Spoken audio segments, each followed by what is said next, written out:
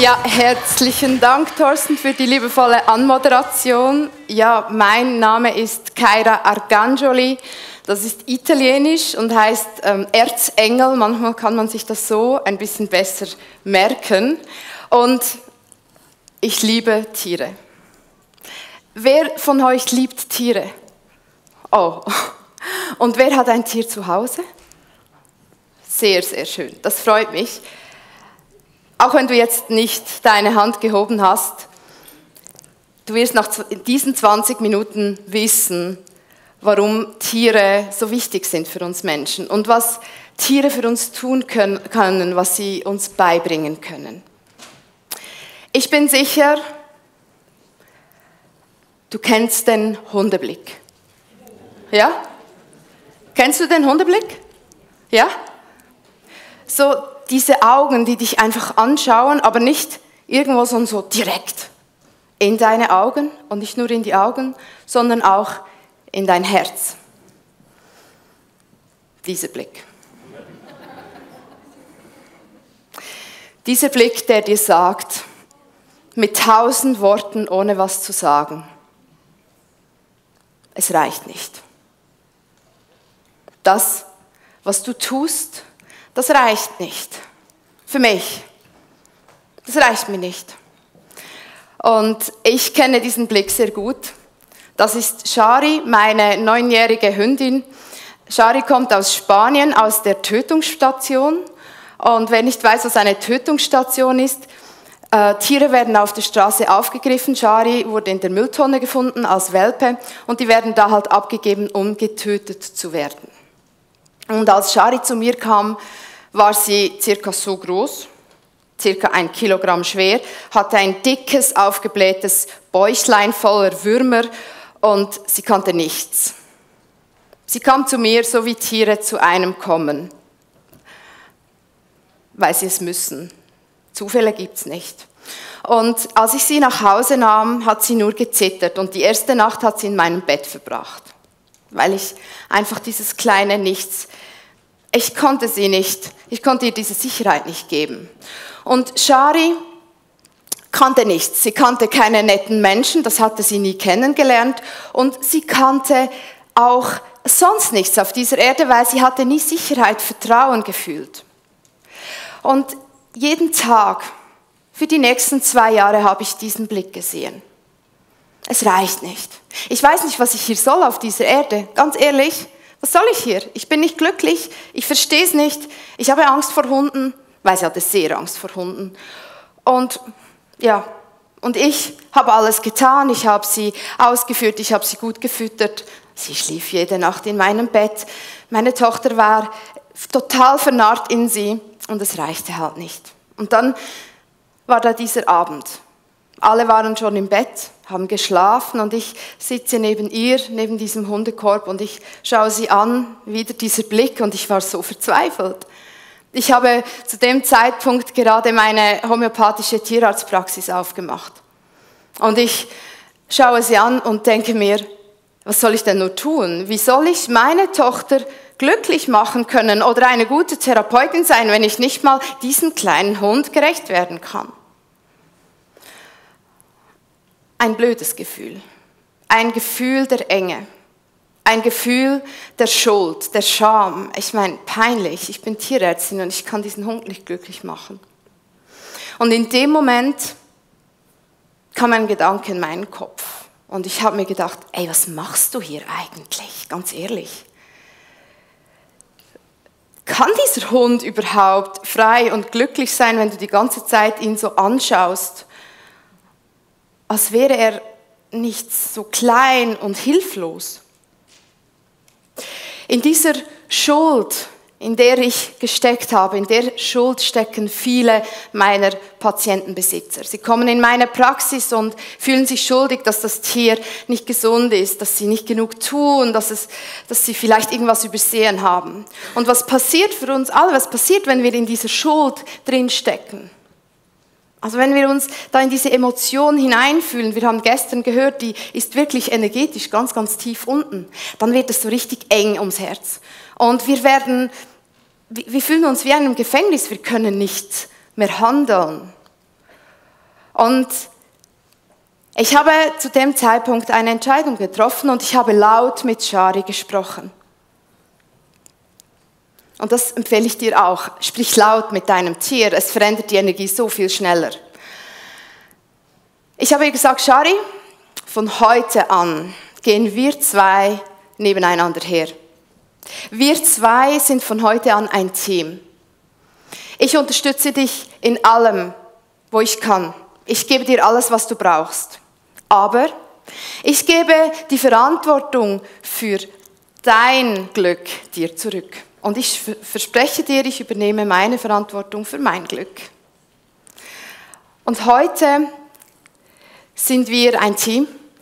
Wir gehen immer noch Foto in Hand nebeneinander her. Shari kann ihre Bedürfnisse ausdrücken. Sie ist glücklich. Sie hat immer noch Angst vor anderen Hunden und Menschen mag sie auch nicht. Und sie schläft immer noch in meinem Bett.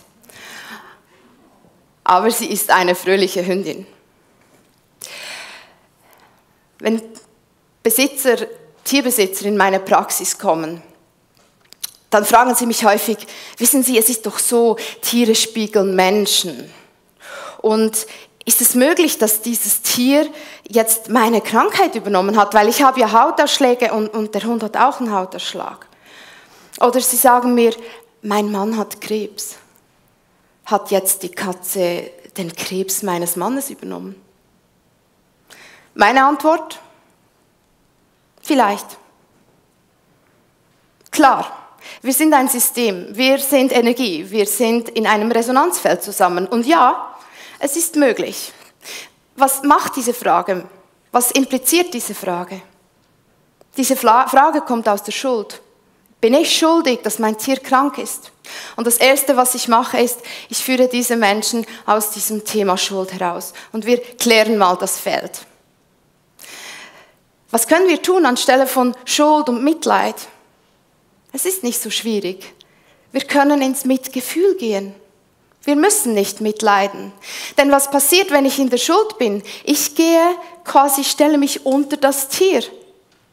Ich schaue daran hoch. Ich sage, ich bin schuld an deinem, wie du dich jetzt gerade fühlst. Gleichzeitig stelle ich mich aber auch über das Tier.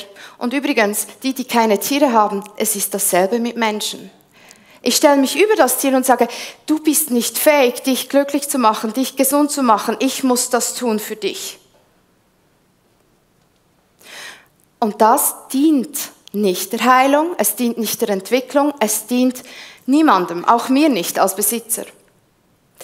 Stattdessen gehen wir in das Mitgefühl. Und das Mitgefühl ist vis-à-vis. -vis. Wir sind Partner.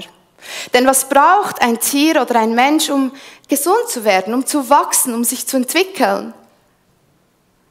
Jemanden, der an ihn glaubt. Und das ist genau das Gleiche bei Tieren. Es ist aber noch so, ich als Tierärztin hier darf dir sagen, dass die Tiermedizin noch ganz vieles zu verbessern hat.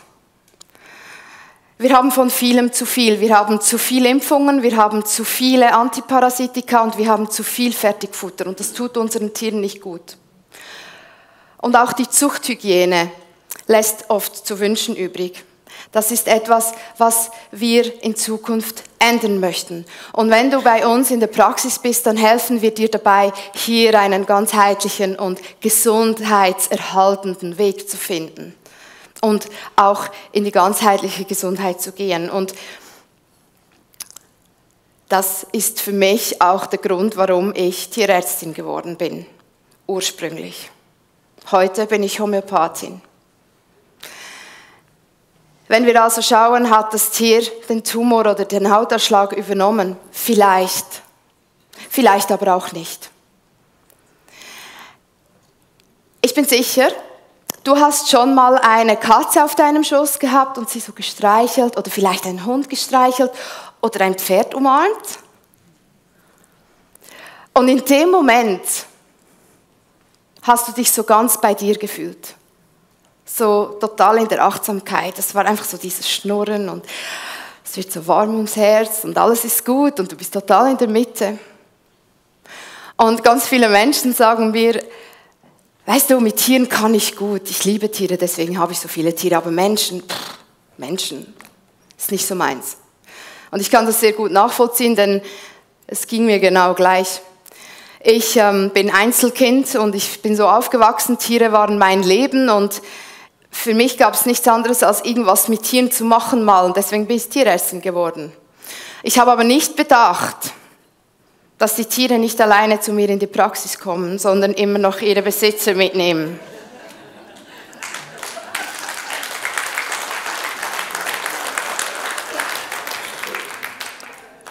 Oh, das war ein Problem.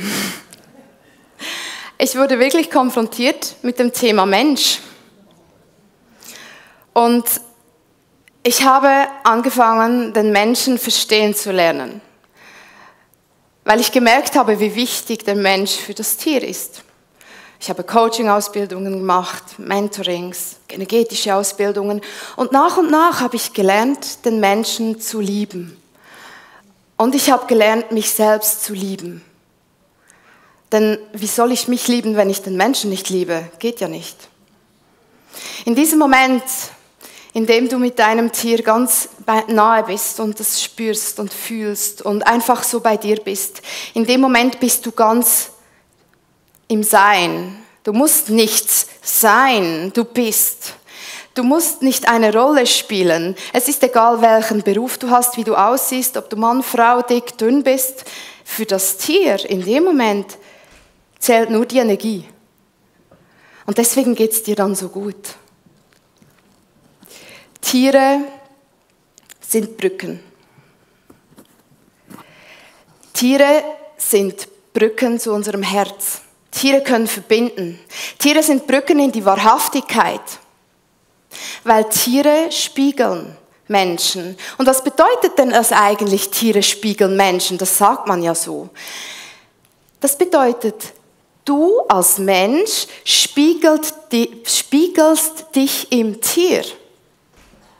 Also du siehst dich selbst im Tier.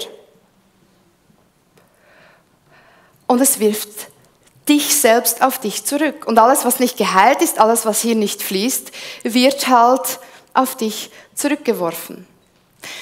Jetzt bist du da und fühlst diese riesengroße Liebe in deinem Herz und dein Herz geht auf und da kommt so viel Energie raus. Und du spiegelst dich im Tier, also spiegelt sich auch diese Liebe im Tier. Die Liebe, die du in dir hast, die du vielleicht vergessen hast. Und das hat nichts mit dem Tier zu tun, sondern mit dir selbst. Diese Liebe, die du da fühlst, ist deine. Und die darfst du wieder für dich fühlen. Deswegen sind Tiere Herzöffner. Tiere können auch Menschen verbinden.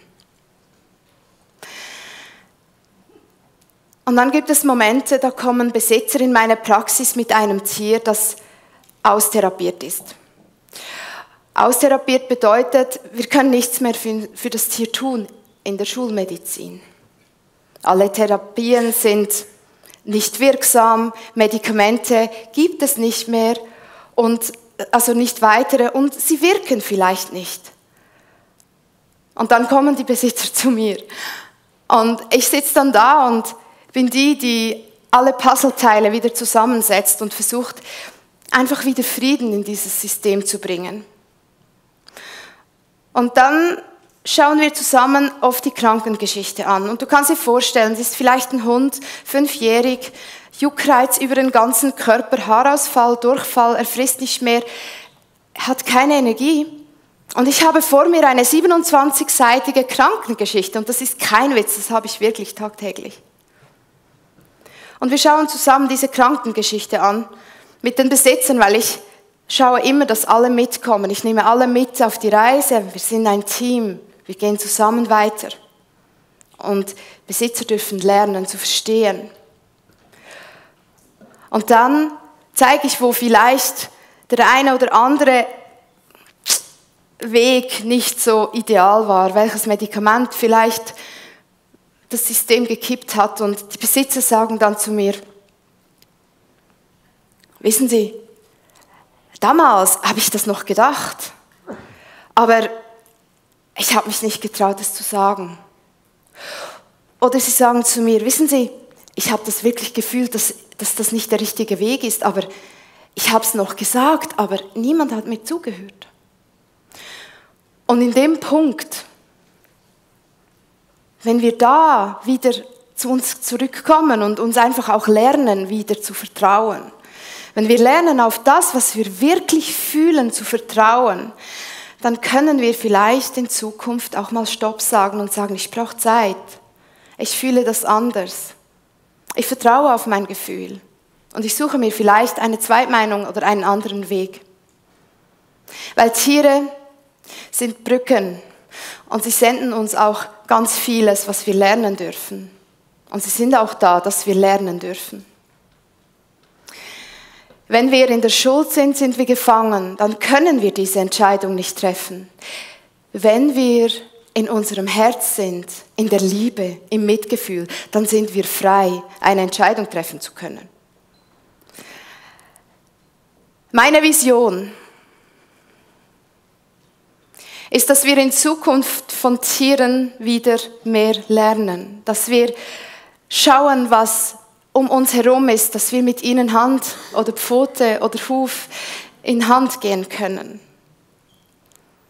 Dass wir die Natur und die Menschen wieder eins werden, weil das ist es, was wir sind. Wir sind eins, wir sind Natur, wir gehören zusammen.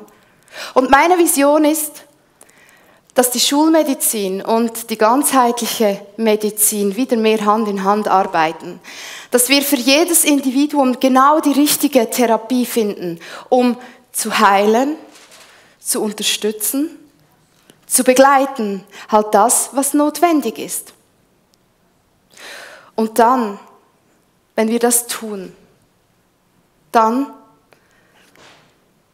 ist endlich alles verbunden. Herzlichen Dank